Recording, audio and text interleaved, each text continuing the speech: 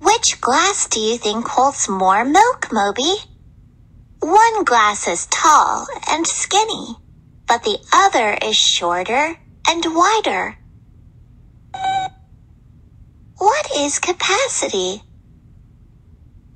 Capacity describes the amount a container can hold. Some containers can hold more or less than others.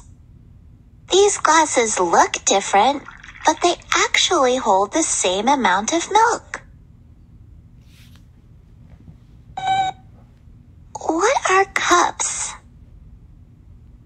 A cup is a unit of measurement.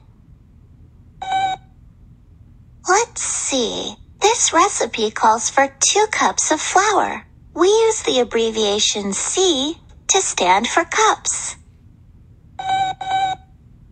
Our cafeteria serves milk in one cup containers. What are pints? A pint is larger than a cup. One pint is equal to two cups.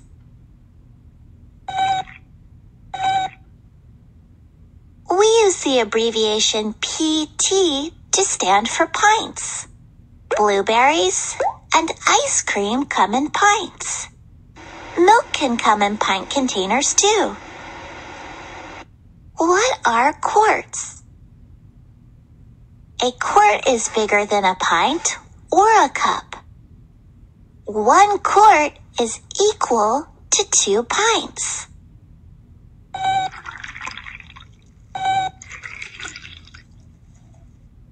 Since one pint is equal to two cups, one quart must be equal to four cups. We use the abbreviation QT to stand for quarts.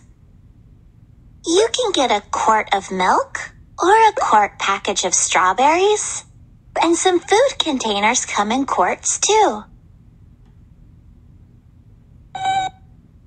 What are gallons? You can use gallons to measure larger amounts. A gallon is bigger than a quart. One gallon is equal to four quarts.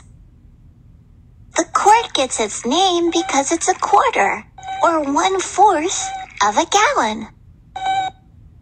It's just like the way a quarter is worth one fourth of a dollar.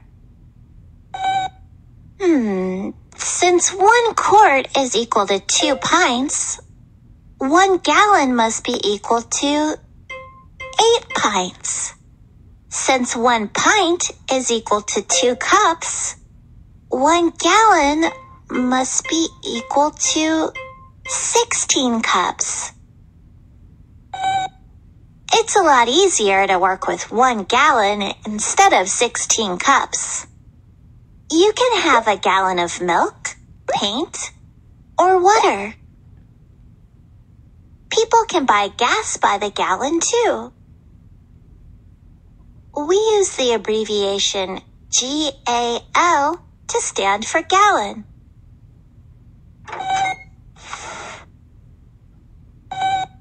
Maybe we didn't measure right.